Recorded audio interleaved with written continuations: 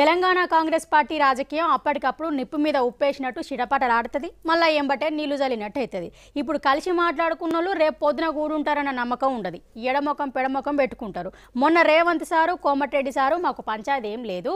కేసీఆర్ మీద కొట్లాడతామని చెప్పిండ్రు కదా ఇక ఇప్పుడు చూడుండ్రి రేవంత్ సారు నల్గొండ టూర్ కడితే ఎవరో ఏమో అంటున్నారు ఈనుండ్రి.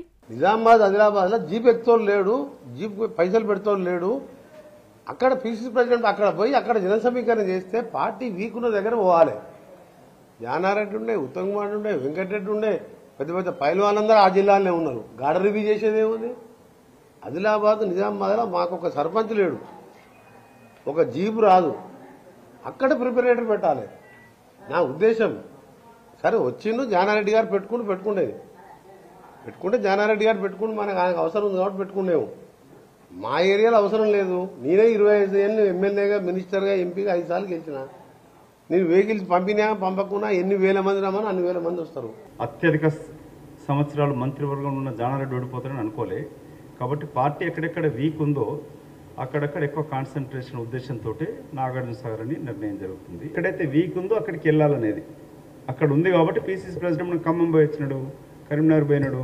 నేను రేపు రేపు వెళ్ళాడు మహబూబ్నగర్ పోవాలనుకుంటున్నాము. సో అట్లా మా యొక్క బాధ్యతను పంచుకుంటూ సమస్యలు తప్ప ఇంకెవరే లేదు రాహుల్ గాంధీ గారి యొక్క సభ సక్సెస్ చేయవలసిన బాధ్యత ప్రతి కాంగ్రెస్ కార్యకర్త మీద ఉన్నది పెండ్లంటే నూరేండ్ల పంట.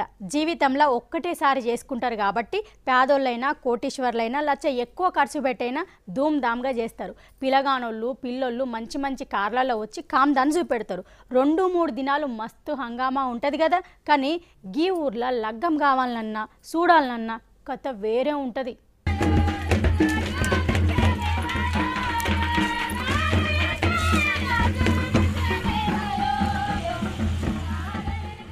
వష్ని పెండ్లన్నారు ఎడ్ల బండ్లను చూపెట్టిండ్రు అమ్మలక్కలు అన్నలు జమై గుట్టలెక్కి దిగిండ్రు.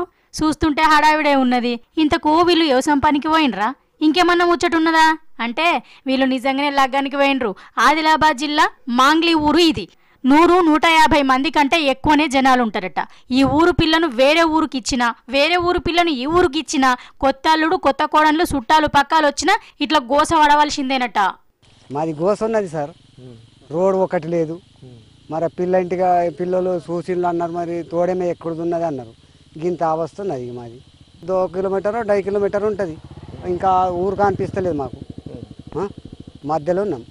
ఆ ఊరు ఏడున్నదో ఏమున్నదో మనకు తెలియదు ఎన్ని కొండలు ఎక్కారు ఇప్పుడు రెండు రెండు అయితే ఎక్కినాం. ఇంకొకటి ఉన్నది అంటున్నారు ఇక.